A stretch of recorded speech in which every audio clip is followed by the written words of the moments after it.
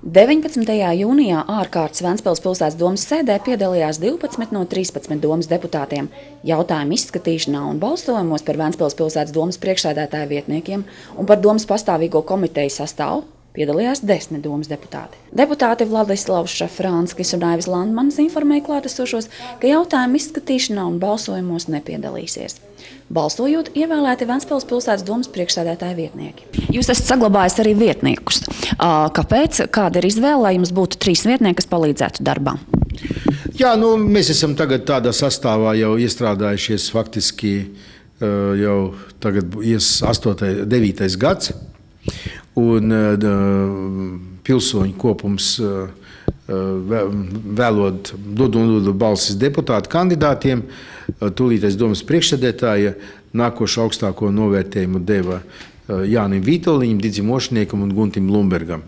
Un būtu dīvaini, ja mēs mainītu kaut kādu struktūru un arī pienākumu virzienus. Es domāju, ka arī tas vietnieku vecuma struktūra ir tātad, nu, nu, pareiza. Ja?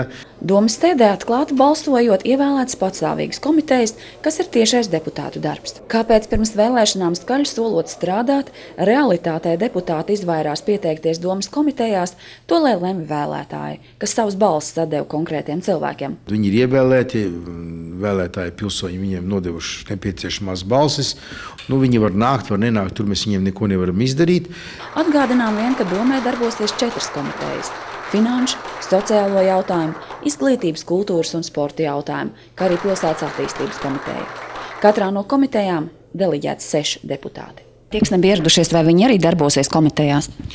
Jā, tur viens otrs bija pieteicies pa kādai komitejai. Protams, atbilstoši likumam viņiem ir jādarbojas vismaz vienā komitejā. Tas arī tā tika izdarīts. Vairākās komitejās palika brīvas vietas priekš viņiem. Bet kādi ir galvenie darba uzdevumi?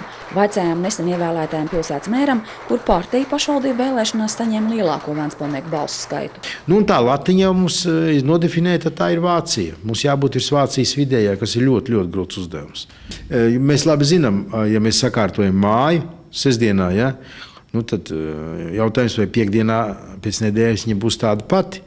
Nu, mēs cenšamies, lai pilsētā nebūtu, ka sestdiena ir eh, sakārtots viss, un, un pēc nedēļas piekdienā viss neizskatās pilnīgi savādāk. Mēs to nedrīkstam atļauties, bet tas mēs labi zinām, cik personīgi tas nav vienkārši. Ja? Dien, dienā, stundu stundā būtu, lai būtu kārtība. Nu, tas daudz grūtāk ir izdarīt pilsētā. Nu, tā atkal tā ir tā kvalitāte. Lai arī aizvadītajās pašvaldību vēlēšanās Vanspilnieku un arī citviet Latvijā vēlētāja aktivitāte bija īpaši zema, darbs pašvaldībās sākas ar ikdienišķu jautājumu risināšanu. Vanspils domas kārtējā sēde notiks 5. jūlijā. Gonda Pūrniec Andrēs Kulīgins, Kursdams televīzija.